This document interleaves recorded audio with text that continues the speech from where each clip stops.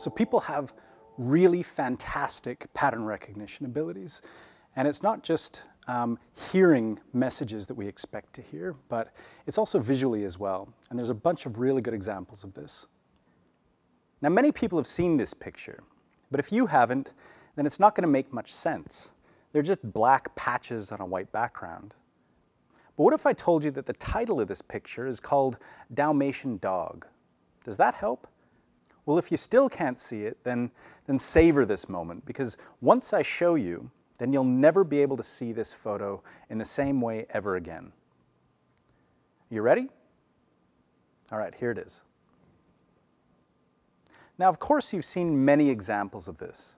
People have reported seeing a face on Mars or Elvis in the form of a tree or even seeing the Virgin Mary in a toasted cheese sandwich. We tend to see faces all over the place. In fact, there's a nice website called Faces in Places where people upload their own photographs of faces that they see in everyday objects, and it's filled with hundreds of great examples. People are really good at perceiving patterns. In fact, we're essentially pattern recognition machines, particularly for faces.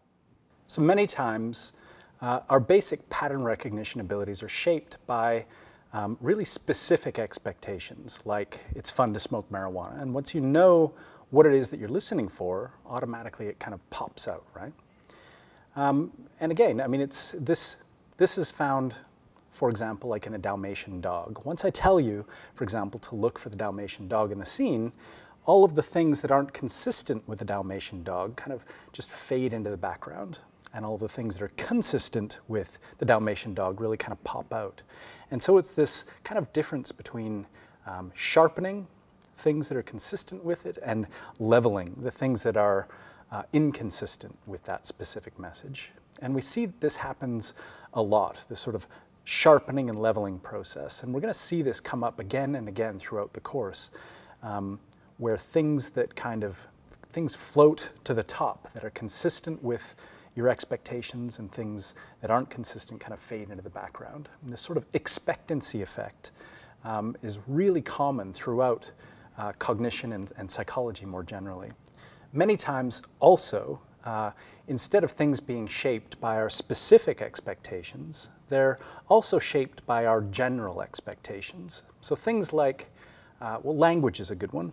So language, uh, we aren't even aware really of kind of doing any sort of interpretation whatsoever, right? When you read a sentence, it just kind of emerges what the meaning of that sentence is. But there's all thing, sorts of things like syntax and grammar, obviously spelling, um, word configurations, um, sentence structure. These things are all kind of happening and you're applying them. You're making these interpretations without even knowing that there's anything going on. Um, and there's some really good examples of this as well. In this example by Steve Pinker, our vast experience with language allows us to deal with these noisy conditions and understand this seemingly garbled passage of text. The same goes for our ability to interpret bad handwriting, something that humans find incredibly easy to do.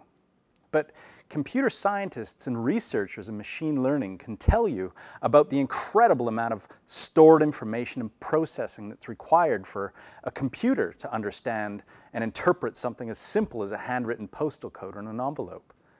But subjectively, we just open our eyes and apprehend it as humans because we all have incredible amounts of experience with these sorts of materials that we encounter every day.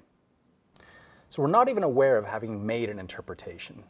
I mean, that's what's so cool about this stuff, that um, when you're listening to Queen backward again, that message, that it's fun to smoke marijuana, that message you can't hear. You can't put yourself back into the shoes of yourself, your previous self, before hearing that message, right? You can't unhear it again. And looking at the Dalmatian dog, you can't unsee the Dalmatian dog. You're forever tainted right? The bits that are consistent with the dog pop out.